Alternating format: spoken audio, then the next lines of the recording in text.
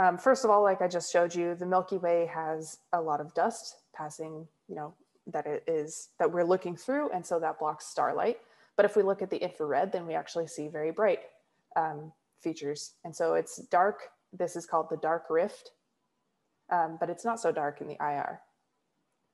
And now what I want to do is this box is in the direction of the constellation Sagittarius.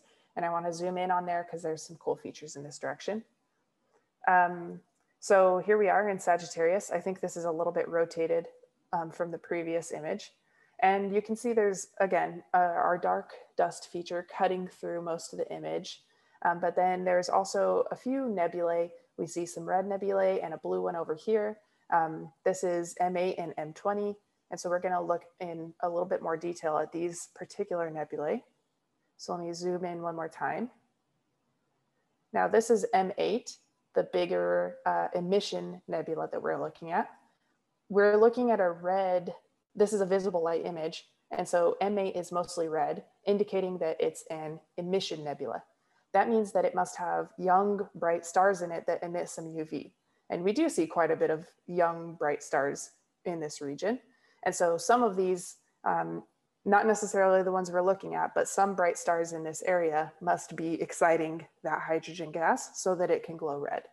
So what we can learn from this image is that in here somewhere, there are, is active star formation going on. All right, so now this kind of blue nebula plus red nebula, this is a pretty cool feature. This is M20. This is also called the Trifid Nebula. So let's zoom in there. And as we look closer, we see there's a bright emission nebula similar to M8 that we just saw. So we know this again must be a region of star formation, but we also see there's a reflection nebula right next to it. So this is, we're not looking at um, light that's going through this, but we're seeing probably light um, from some of these young stars that is scattering off of that uh, same hydrogen gas toward us. So an example of a reflection nebula and emission nebula together. And then this, um, why it's called the trifid is because it's this emission nebula is split into three by these dark dust clouds.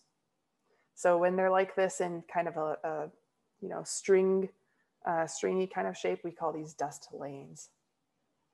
So this is the kind of, you know, the cold dust where stars form from, and that's why we're seeing this uh, emission nebula from the star formation that's actively occurring.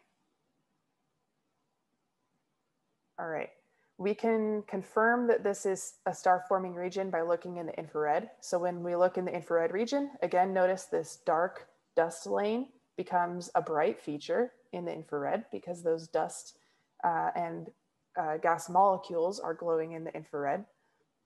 And we can also see bright spots in the infrared that indicate where a star is forming. So those are warm regions.